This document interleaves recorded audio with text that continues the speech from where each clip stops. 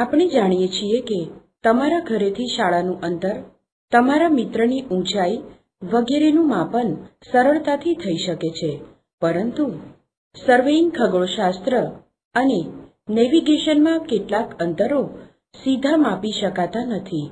જેમ કે, ટાવરની ઊંચાઈ, ટેકરીની ઊંચાઈ, નદીની પહોળાઈ, બે અવકાશી બિંદુઓ વચ્ચેનું અંતર માપવા માટે ત્રિકોણમિતીય ગુણોત્તરની રીતનો ઉપયોગ થાય છે. દ્રષ્ટિકિરણ. નિરીક્ષક જે બિંદુએથી વસ્તુનું નિરીક્ષણ કરે છે, તે બિંદુમાંથી ઉદ્ભવતું અને નિરીક્ષણ હેઠળની વસ્તુમાંથી પસાર થતું કિરણ દ્રષ્ટિકિરણ કહેવાય છે. ક્ષિતિજ કિરણ નિરીક્ષક જે બિંદુએથી વસ્તુનું નિરીક્ષણ કરે છે, તે બિંદુમાંથી ઉદ્ભવતા અને શિરોલંબ સમતલમાં આવેલા સમક્ષિતિજ કિરણને ક્ષિતિજ કિરણ કહે છે.